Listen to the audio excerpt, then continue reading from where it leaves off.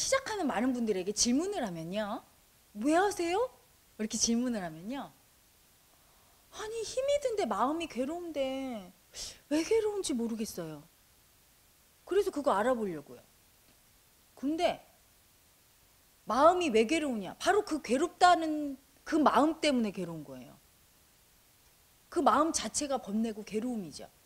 그런데 많은 분들이 어떠냐면 딱 괴로움이 올라오면 이유를 이렇게 다른 데서 찾아요. 제가 그랬어요, 저도. 예전에 이제 젊었을 때요. 돈이 있어. 근데 막 불안하고 두려우면 이렇게 갖다 대요, 이유를.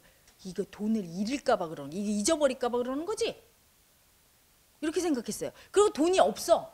약국해서 돈이 잘 안 벌려. 그게 없어. 그러면 그런데 막 두렵고 불안하면 돈을 못 벌어서 그러는 거야.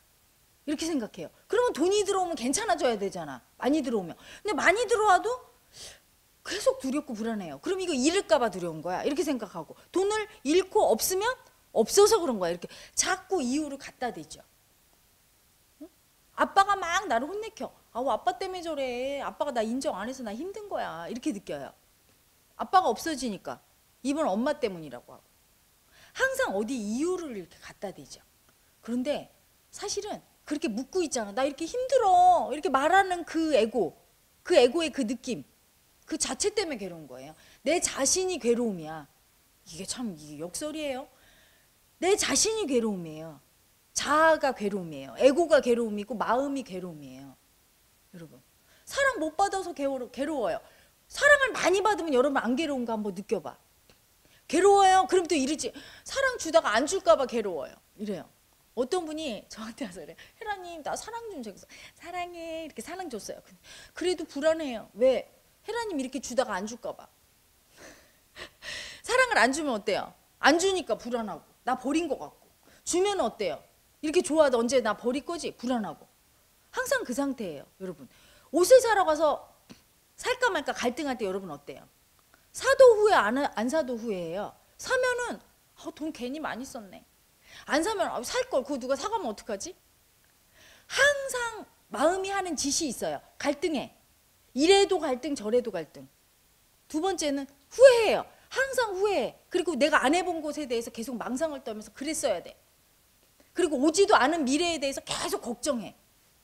온갖 짓을 다 해요, 마음이. 그래서 나를 괴롭게 하는 게 바로 그 마음이거든요. 그런데 그 주버, 주된 범인은 쳐다보지 않고 계속 밖에서 이 사람 때문인가? 저 사람이 저렇게 말해서 그런가?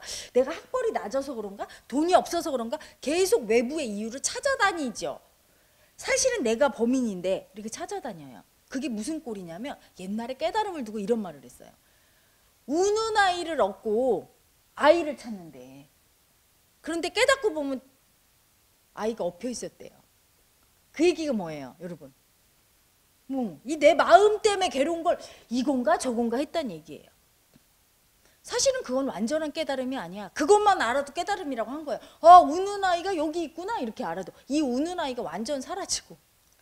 내가 새로 태어나야 그게 완전한 깨달음인데. 그렇게 했죠. 마치 이런 격이죠. 손에 열쇠를 들고 이래. 자동차 키가 어디 갔어? 이렇게 계속 찾는 거죠. 여러분 그런 적 없어요? 저는 잘 그래. 핸드폰을 들고 내 핸드폰 없어졌다고 막. 어디 갔냐고 막 찾아요. 여러분 그런 격이야. 그래서 마음을 늘 그 마음이 살아. 마음이 힘들고 괴롭고 한데 이거를 못 느끼고요. 저것 때문에 괴롭지. 이것 때문이죠. 의식이 밖에가 있는 거죠. 그 밖에가 있는 의식을 이렇게 훅 돌려서 여기 범인이 있다. 이렇게 딱 집중시켜 주는 거. 그 첫 단계. 그게 마음 공부 입문이에요. 음, 마음을 알게 하는 거. 그것만 해도 엄청난 깨달음이죠. 모든 번뇌와 괴로움의 주된 범인이 바로 내 마음이구나. 이것만 알아도 어떠냐면 괴로움의 반은 가셔요. 왜냐하면 원인을 찾을 필요가 없어. 원인을 안 찾으면 끄달려 다니지 않아요. 그렇죠? 마음 공부 올바로 하는 사람은요, 딱 마음이 올라와. 예를 들어 두려움이 올라오면 찾지 않아요. 원인을 그냥 두려움이구나. 알아차리죠. 그리고 그거 느껴주고 자운성과 말로 청산이란 걸 하게 되고 음, 그것 때문에 어떤 일이 일어난다고 생각 안 해서 어떤 선택을 할 때 이것 때문에 장애가 되지 않죠. 이걸 딱 관념 분리라고 하죠. 마음은 따로 보고 머리로 합리적으로 딱 판단해요. 그런데 그게 안 되면 이 마음자리가 딱 올라왔어. 두려움이 올라왔을 때 이 두려움에 끌려다니면서 어, 어떡하지? 왜 어떻게 해야 되지? 너무 무서워서 여러분 올바른 선택을 못 하게 되고 삶 속에서도 왜곡된 선택을 해서 엄청 고통당하는 일도 많이 생기고 날마다 찾아다녀 이거 이거 이거 해결하려고 삶을 낭비하게 되죠. 삶의 낭비가 없어져요. 일단 마음을 딱 알아차리면 적어도 내 모든 삶의 괴로움의 근원이 마음인 걸 알면 그때부터 수행자라고 이름 붙일 수 있고 그 다음부터 마음 공부 구도자로서 내 마음만 보고 갈 수 있게 됩니다. 그러면 더 이상 헛된 망상의 의문 의심은 끊어져요. 그냥 이 올라온 마음이 이게 문제구나 항상 이게 문제구나 이러고 가면 되니까 예전에는 어때요? 문제 찾느냐고 이렇게 돌아다녔어요. 그래서 내 문제가 마음이 문제라는 걸 알면 이미 반은 깨달은 거예요. 다 된 거야 이미.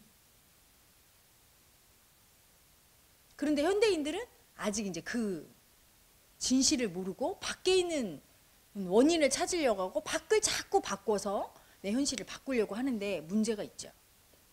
그렇기 때문에 해결이 안 되고 어려움은 반복되고 내 문제 현실 상황은 점점 커지게 되고 그런 일이 반복되고 있습니다. 그래서 마음 공부는요, 여러분 현실과 괴리돼 있고 또는 그냥 머리에 생각으로 하는 공부가 아니에요. 실천적인 공부인데다가 현실과 현실 상황과 접목되어 있는 공부예요. 그래서 산속에 혼자 들어가서 이렇게 하는 사람보다 마음 공부를 현실 상황이 부딪히면 어떻게 됩니까? 마음자리가 더 잘 올라와요. 예를 들어 뭐 운전하다가 빵빵 하면서 누가 끼어들어서 욕 한 번 얻어 먹으면 여러분 어때요? 마음이 더 잘 올라오죠. 화가 나 딱 이러면 아 마음이 올라왔네. 알아차리면서 이 마음 버리기가 더 쉬워요. 알아차리는 게 곧 버리는 거죠. 산에 들어가서 뭐 운전할 일도 없고 가만히 고요하게 있으면 누가 와서 날 건드리긴 하나 산새 소리가 날 건드리겠습니까? 빵빵 기적 소리가 있습니까? 누가 나한테 와서 욕 한마디 해주겠어요. 그만큼 자기 마음자리를 그러니까 건드려지지 않기 때문에 공부가 느리고 공부되지 않죠.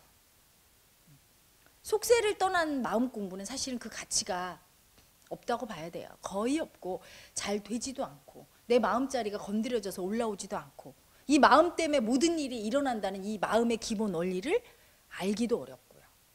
그래서 자운성가는 사실은 깨달음의 대중화 또한 삶 속의 깨달음을 추구하고 있습니다.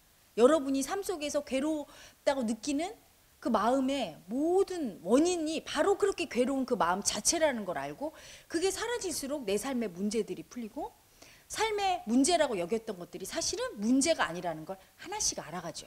마음이 원인이란 걸, 괴로움의 근원이란 걸 안 사람은 밖에 현실 속에 오는 문제들이 그렇게 두렵지 않아요.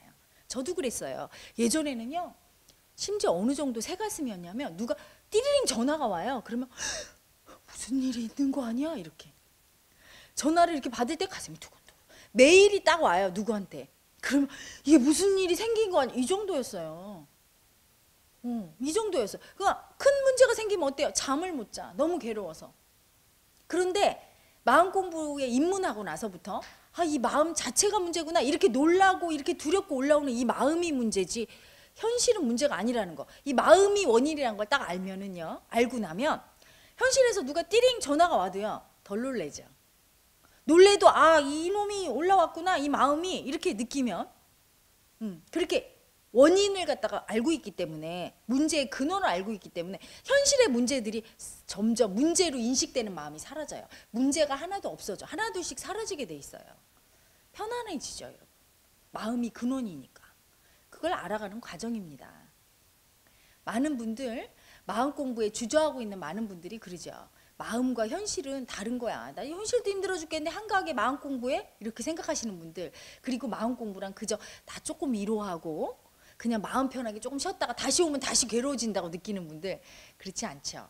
현실의 모든 문제들의 괴로움의 근원이 마음이고 그걸 해결할 수 있는 유일한 방법이 바로 마음자리를 찾아내고 그 마음이 괴로움이란 걸 알아가는 마음 공부랍니다. 여러분 모든 분들이 마음 공부를 통해서 자기 삶의 괴로움의 근원이 마음자리를 알아서 삶의 문제들이 삶의 고통들이 해결되기를 바라는 마음 간절합니다.